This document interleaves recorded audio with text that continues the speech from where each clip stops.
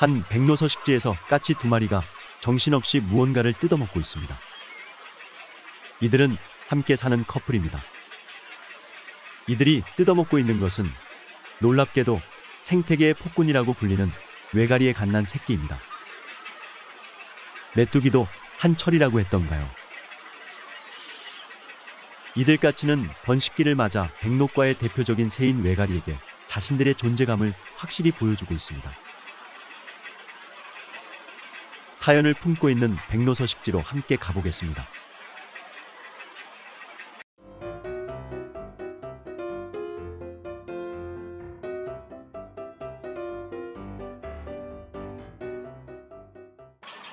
두 까치 커플이 사는 둥지입니다.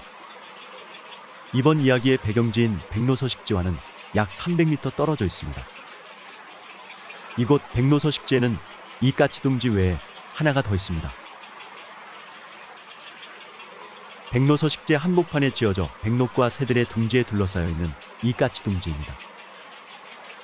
이야기의 발단은 백로 서식지 안에 이 둥지에 사는 까치들로부터 비롯된 게 아닙니다. 서식지 밖에 사는 까치 커플이 새끼를 부화하면서 시작됐습니다. 시기적으로는 약 열흘 전부터 시작됐습니다. 이때부터 갑자기 서식지 바깥에 사는 까치 커플의 출입이 부쩍 잦아졌습니다. 그동안 조용하던 백로 서식지가 시끄러워진 겁니다. 이들의 움직임을 보면 평상시 까치들이 보이는 일상적인 움직임이 아닙니다. 마치 급한 볼일이 있는 것처럼 날렵하게 움직입니다. 그러면서도 집요하게 외가리와 백로 둥지 주위를 맴도는 게 눈에 띕니다. 그러던 어느 날 그 같은 수상한 움직임의 정체는 드러나고 말았습니다. 까치 한 마리가 외가리 둥지 안에 들어가 뭔가를 자꾸 쪼아대며 먹는 것처럼 보입니다. 외가리 알을 부리로 깨뜨려 훔쳐 먹는 겁니다.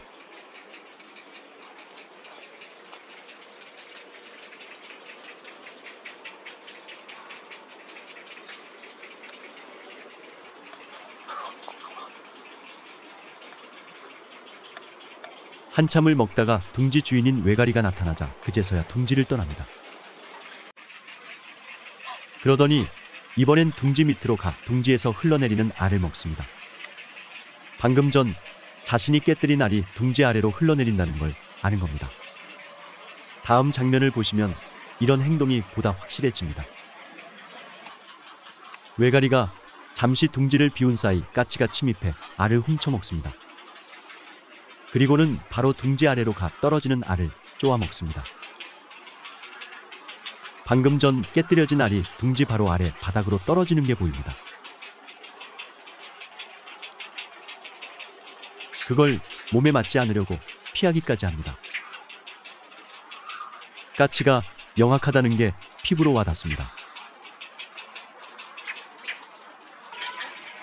까치의 알 도둑질은 계속 이어집니다.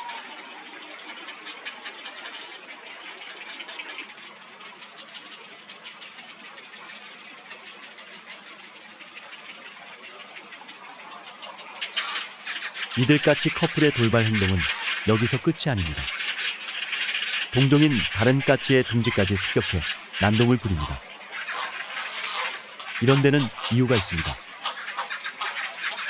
외갈이나 백로들보다 오히려 이 서식지 내 둥지의 까치들이 자신들의 출입을 더 막고 있기 때문입니다.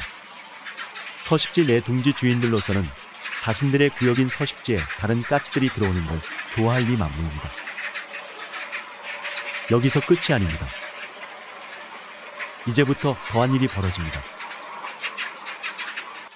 한 까치가 살아있는 외가리 새끼를 사정없이 뜯어먹습니다. 방금 전 외가리 둥지를 습격해 물고 나온 겁니다. 뜯어먹히는 외가리 새끼가 아직 살아있다는 걸 느린 화면으로 보겠습니다.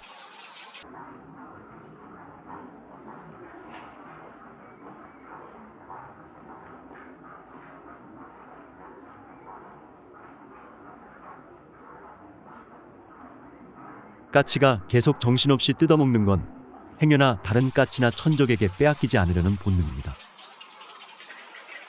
이 영상의 시작부에서 까치 커플이 정신없이 뜯어먹고 있던 외가리 새끼도 이렇게 당한 겁니다. 덩치가 큰 새끼는 일단 둥지 아래로 떨어뜨린 뒤 해코지를 하거나 죽길 기다렸다가 살점을 뜯어먹습니다. 이러니 백로서식지는 하루라도 잠잠할 날이 없습니다. 언제 어떤 일이 벌어질지 모릅니다. 외가리와 백로들이 항상 둥지 곁을 떠나지 않는 가장 큰 이유입니다. 그렇게 해도 알을 도둑 맞거나 새끼를 유괴당하는 일이 수시로 일어나니 항상 긴장하지 않을 수 없습니다. 이들까치 커플은 왜 이토록 맹금류 같은 행동을 하는 것일까요? 바로 새끼들 때문입니다. 자신들의 새끼를 키우기 위해 이런 일을 벌이는 겁니다. 외가리 새끼의 살점을 잔뜩 물어다 새끼들에게 먹입니다.